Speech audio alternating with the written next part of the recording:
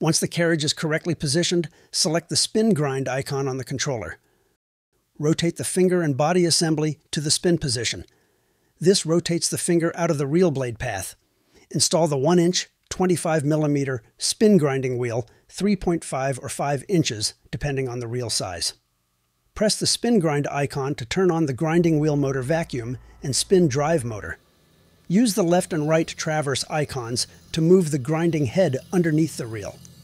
Moving the grinding head across the reel will help find any high areas. If the grind becomes too aggressive, press the down feed icon to lower the grinding head until you can travel the full length of the reel without grinding too heavily. End the test grind by clicking the stop button.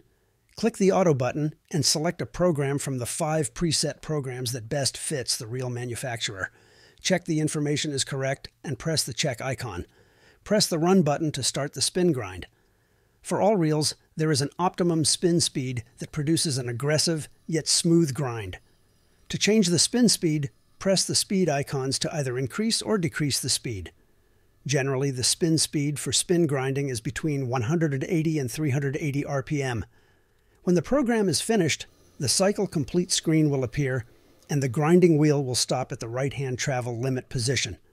The vacuum motor, spin motor, and grind motor will shut off and the blue light on the machine will flash. At this time, you may open the doors and inspect the reel.